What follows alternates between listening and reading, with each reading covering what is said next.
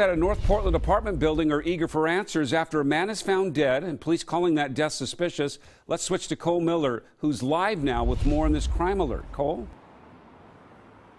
Well, Jeff, police aren't saying much tonight, and the neighbors I spoke with at this apartment building at Lombard and Elmore tell me that those detectives were focusing on a second unit, second story unit rather here.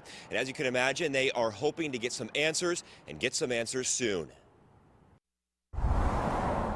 Think of home as somewhere that's safe, and so sometimes I don't feel like that out here. For Shree Harkham Clegg, home is this apartment building in North Portland just off Lombard.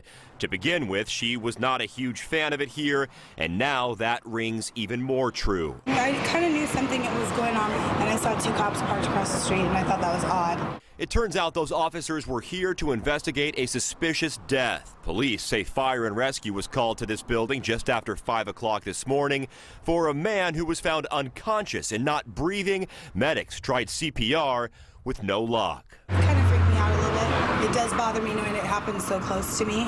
And while police tell us there's no danger to anyone else here, neighbors like Harkham Clegg simply want a better idea of what this suspicious death means. If there's a homicide that took place, I, I believe that people have the right to know.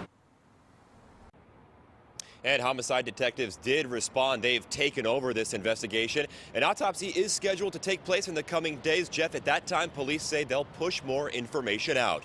Live tonight in North Portland, Cole Miller, KOIN 6 News. Thanks.